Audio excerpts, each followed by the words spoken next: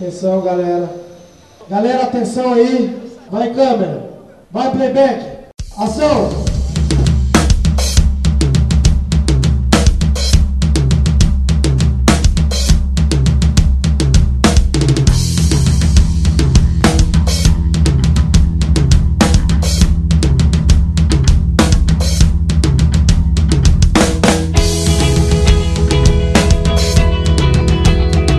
A banda surgiu em Lorena, nossa cidade que a gente morava antes de mudar para São Paulo.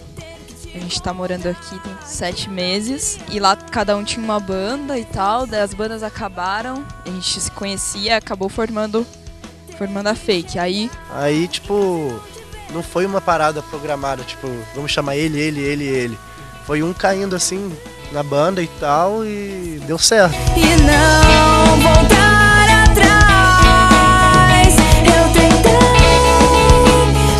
a gente define como um, um rock alternativo. A gente não tem assim uma coisa para um tipo de som que tipo parece, a gente não sabe muito definir. Mas eu acho que fica mais perto do rock alternativo, porque como cada um aqui gosta de uma coisa, a gente meio que fez uma mistura, entendeu?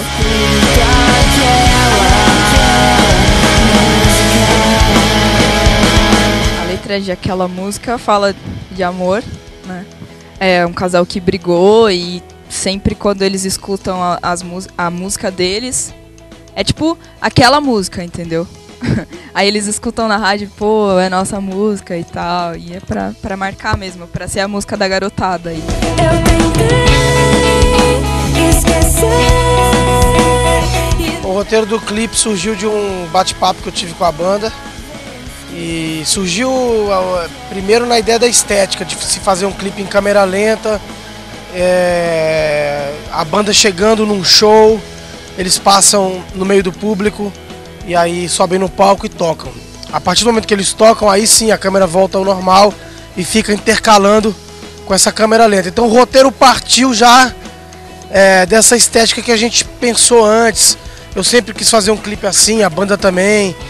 E a gente chegou nesse, nesse conceito super rápido, assim.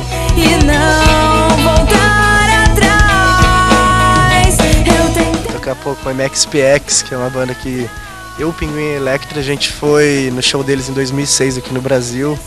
Uma banda que a gente curte muito, assim. E além de tocar com eles no Maquinária, a gente vai fazer a tour inteira no Brasil com eles e vai ser um prazer, assim, pra gente. Com eles e Zebra Head, que é muito bom também. Eles vão trazer é, como banda de apoio também. Vai ser, vai ser bem legal.